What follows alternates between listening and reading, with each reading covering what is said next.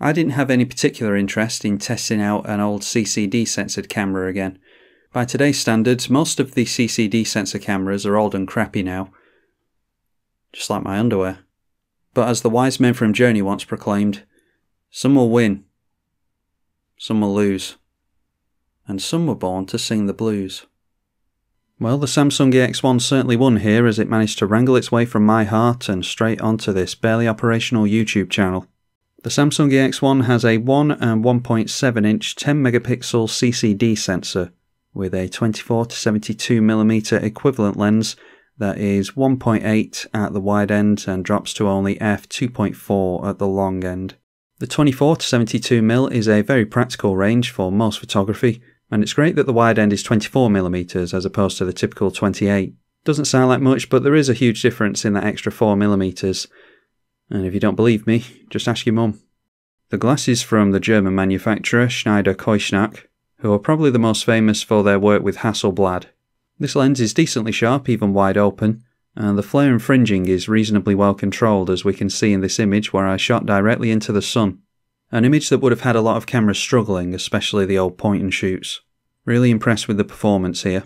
Another useful feature is the optical image stabilization, which you don't necessarily expect to see in a small CCD camera like this. So you can better get away with slightly slower shutter speeds on this camera. On top of the EX1 we see a pop-up flash which I'll never use, a PASM dial and a drive mode dial which I always appreciate seeing a physical control for. One feature I don't appreciate is the electronic power zoom. I'd much rather grab the collar and extend the barrel of the lens manually. It reminds me of what my penis used to be able to do. Plus it's more tactile, reliable and faster than waiting for the camera to boot up and respond to my inputs. I like that you can control the settings on the camera without diving into menus as well. For instance, during shutter priority mode, you control the speed with this clickable front dial. Although, confusingly, during aperture priority mode, instead you use this back spinning dial. This is probably for consistency during the full manual mode, but I'm easily confused. Plus all the substance abuse has ruined my short-term memory. I love that there's a metering mode button too. It's incredible how many cameras don't include these when it's such an important part of getting your exposure correct in camera. Although I'm sure if you all change your RAWs entirely in Photoshop anyway, then it won't matter to you as much as it matters to me. This is the auto exposure, or automatic, everything's been done automatically on the camera. And the exposure tends to uh, lean towards being quite bright, even when you've got like spot metering on and stuff like that. So oftentimes it's just easier to take manual control. And as I've already mentioned and say about pretty much every camera, I don't like having to dive into menus, so the function button giving you access to the important stuff is a must include for me. A potentially controversial choice with the camera's design is that it includes the fully flip out articulating screen. This is a preference for me on most cameras as it's useful for making the best YouTube videos you've ever seen.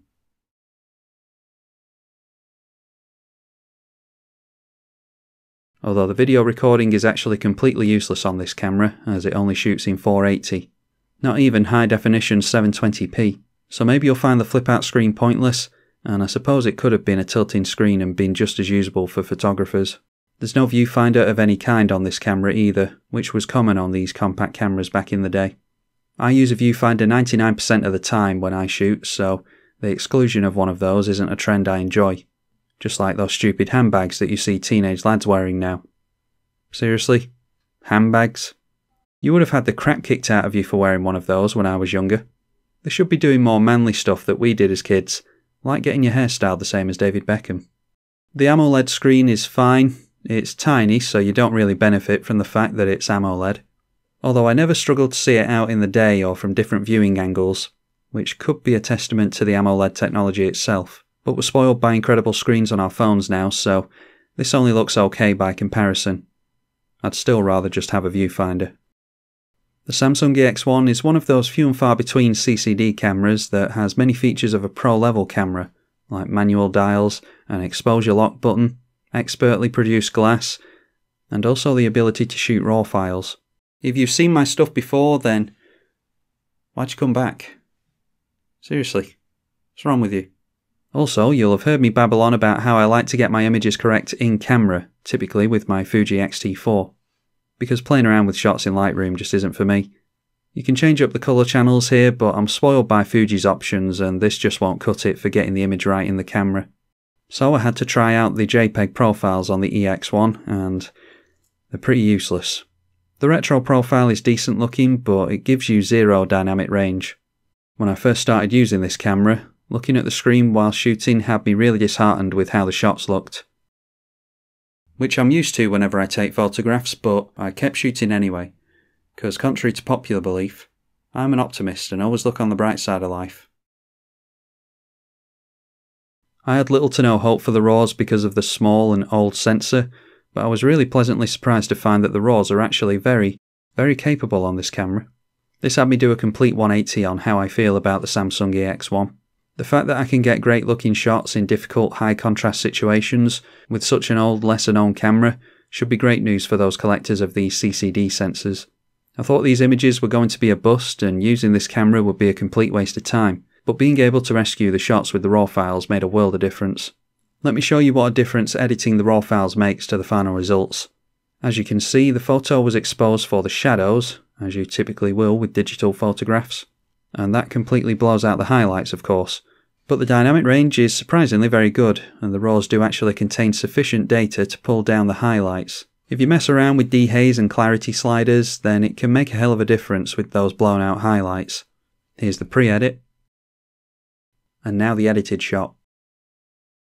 Another example, but with the opposite issue, I've exposed for the highlights and the midtones, and seemingly lost a lot of data in the shadows. The image on the back of the camera shows you the JPEG and looks completely unusable. The shadows were pretty much pitch black. Really wasn't feeling using this camera because I could already tell that the photos looked bad. But I was really happy with how well I could rescue this image by pulling some details out of the shadows. Not a capability I necessarily expect from an old camera with a small CCD sensor, but it performs very impressively in this aspect and had me totally change my tune, just like when I start answering back and Helen glares at me. Another example of the Lightroom RAW edit rescuing an image, although I could take a photo of an actual turd and an X-Pan crop would make it look good. This is your random X-Pan shot of the video. Newbies expect these in most of my videos. X-Pan is life. It shoots macro too like all these old digicams did. Nothing more to say on that really as I don't actually try to make any macro shots with it.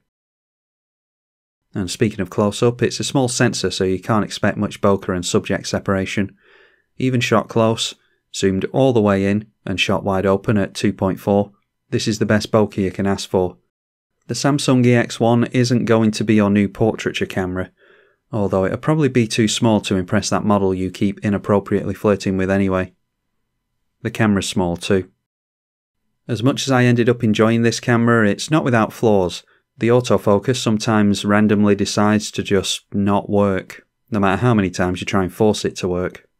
This is where aperture priority came in handy as I could close down to something like f5.6 and take the shot. Even though the camera showed it wasn't grabbing focus, the aperture was small enough to give us that long depth of field. Not ideal, but a useful workaround.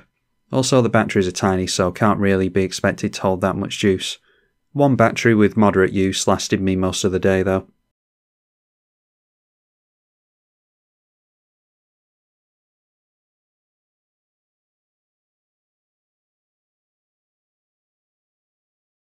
All in all, if it wasn't for those impressive RAW files, I wouldn't be singing the praises of the Samsung EX1.